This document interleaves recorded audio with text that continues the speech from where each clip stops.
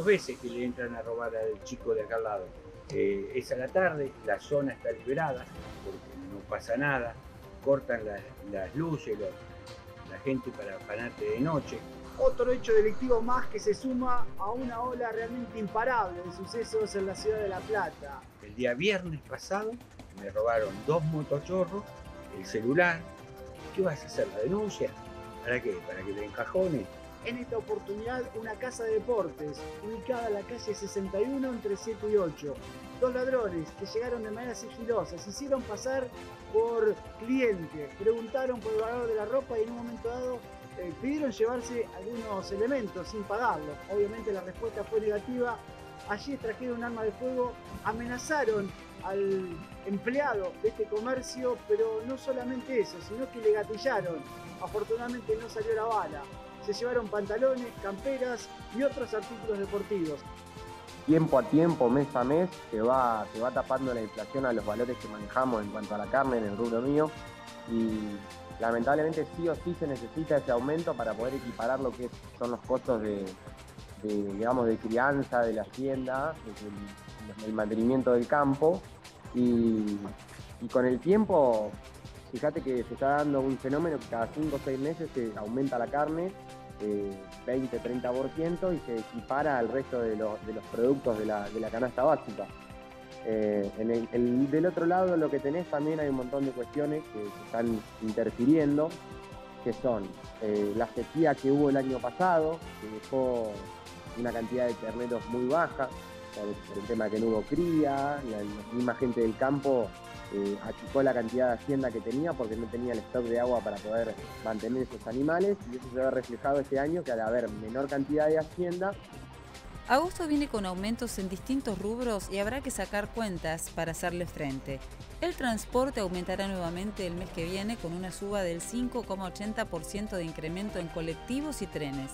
El pasaje que hoy cuesta 72 pesos con 78 centavos, se irá a 77 y el mínimo de la línea Roca pasará a 25 pesos con 72 centavos. Los contratos de alquileres firmados en agosto de 2020 que se hayan renovado o prorrogado tendrán la suba anual que en esta ocasión alcanzará el 108,94%.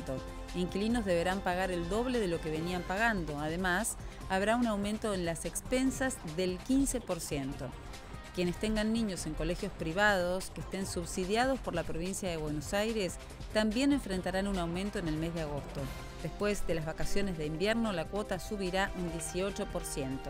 Además, habrá incremento en las cuotas de medicina prepaga con una suba del 8,72% la tijera más grande del mundo mide 3.5 metros y está en Arizona. Para poder batir ese récord mundial pasé horas diseñando esta tijera gigante. Yo siento que también al ser youtuber y, tener un público joven y eso, les quiero enseñar un poco del tema de, en su momento he dicho por el tema de fiscales, ahora el tema de cortar boletas, así que ese es mi Y bueno, cuento mi ejemplo. Tu ejemplo fue decidir entre uno de una lista y otro de otra y en el medio hay que cortar. Claro, hay que cortar y por eso de forma bien literal hice la tijera más, más grande del mundo. ¿Es es la tijera esa? La, es más o menos. La, la, verdadera mide 3 metros, pero corta de verdad. ¿Corta de verdad? Sí, esta, no corta, porque es de madera. Eh, ¿Cómo la hiciste? ¿Cómo arrancaste con esto? Eh, estuve 4 o 5 días. Lo diseñé todo y después con, madera y, y fácil lo, lo fui se reglamentó la Ley de Prevención y Control de la Resistencia a los Antimicrobianos, considerados una de las principales amenazas de la salud pública. El objetivo es fomentar el uso responsable y regular en cuestiones referidas al expendio y consumo de antibióticos. De este modo, ya no se podrán adquirir estos medicamentos en forma libre en farmacias. La norma apunta a restringir el uso de antimicrobianos a las situaciones en las que sean imprescindibles o insustituibles y establece que a partir de ahora la condición de expendio deberá ser la de venta bajo receta archivada, lo cual no implica la presentación de una receta duplicada.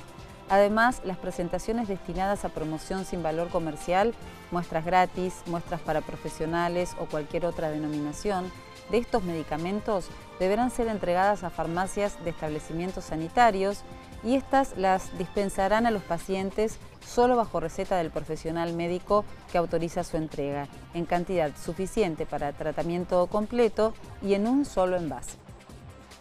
Se clausuró este miércoles un loteo ilegal en Avenida 7 entre 640 y 642 que no contaba con la documentación correspondiente e incumplía la normativa vigente. Al momento de la inspección se encontraron calles demarcadas, una construcción precaria y acopio de materiales. Por lo tanto, se procedió a la clausura preventiva tras verificar que el loteo incumplía con la ordenanza actual. Según se detalló, la contravención se realiza en el juzgado de faltas y se analiza la denuncia penal. Es importante destacar que para evitar estafas y garantizar una compra segura, vecinos pueden consultar la situación de los lotes antes de adquirirlos ingresando al mapa de barrios ilegales que se encuentra en la página web de Obras Particulares. Vivía en mi departamento, por ejemplo, sin eh, terraza, ni balcón, ni nada.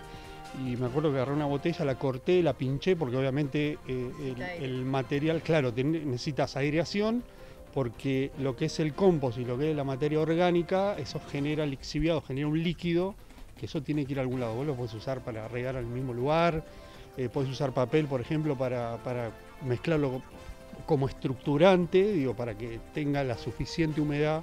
O sea, porque si lo pasás de humedad empieza a pudrirse, empiezan las mosquitas, empiezan los bichitos dando vuelta. Entonces, bueno, eso se puede evitar, obviamente, desde una, desde una forma muy sencilla y lo puedes hacer en tu casa cuando, por ejemplo, terminas de comer una fruta, en vez de que vaya a la bolsa negra, donde va todo mezclado, lo puedes llevar a un tachito chiquitito, no tiene que ser muy grande, y lo empezás a, trabajar y es muy interesante porque ahí empiezan a trabajar los microorganismos y es, una cosa alucinante y, me parece que está bueno.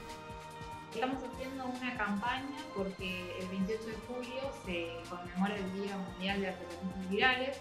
Entonces la idea es concientizar a la población acerca de qué son las hepatitis y realizar testeos gratuitos y voluntarios para la hepatitis C que es una infección crónica que puede generar en el hígado, cirrosis y hepatocarcinoma. Entonces, como no genera síntomas, es muy importante la detección precoz eh, y las recomendaciones tanto de la Organización Mundial de la Salud como de la Sociedad Argentina de Patología es que una vez en la vida todo el mundo sea testeado para la hepatitis C. ¿De qué manera se hacen esos testeos y aquellos interesados cómo pueden hacerlo?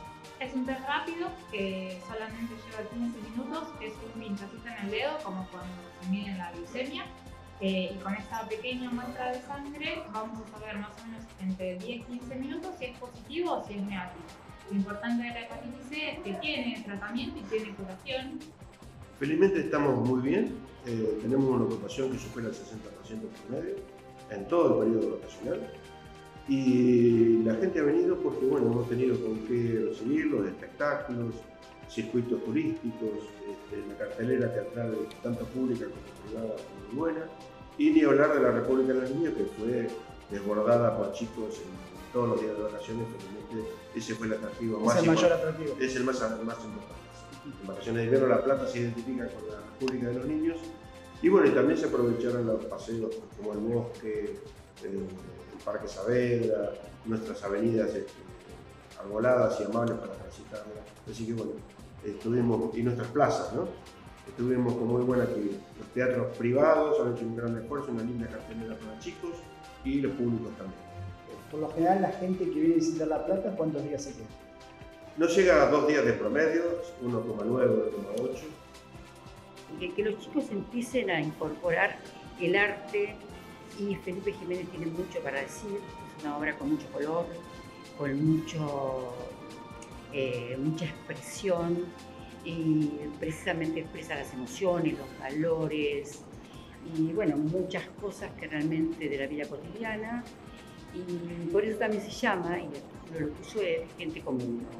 Cuando hablamos de gente común es todo lo que nos está ocurriendo a todas las personas en la vida cotidiana. El recorrido tiene eh, un circuito en el cual vamos explicando algunos de los cuadros eh, con los que tienen mayor significación y mayor eh, idea de que los espectadores se puedan sentir identificados con esos personajes. Hay acrílicos, hay objetos que se llaman los esperando, que son en tridimensión. Los chicos se acercan.